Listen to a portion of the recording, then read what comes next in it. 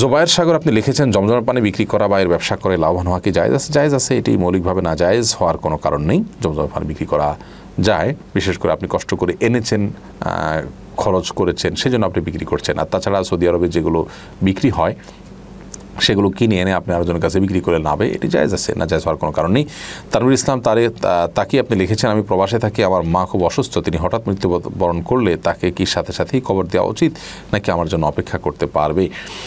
শরিয়ার নির্দেশনা হলো নবী সাল্লাহ সাল্লাম বলেছেন আসরিয়াউ বিল জানাজা। তোমরা জানাজা খুব দ্রুততার সাথে সম্পন্ন করো। জানাজা খুব দ্রুততার সাথে করতে হবে। এই জন্য কোনো মানুষ মারা গেলে তাকে দাফন করা, তার জানাজার অ্যারেঞ্জমেন্ট করা খুব দ্রুততার সাথে করা উচিত। তবে হ্যাঁ লাশের যে ওয়ারিস মালিক, সন্তান, সে বাইরে আছে, তার জন্য যদি অপেক্ষা করা হয় যৌক্তিক সময় এবং সময় পর্যন্ত, তাহলে সেটি জায়েজ আছে।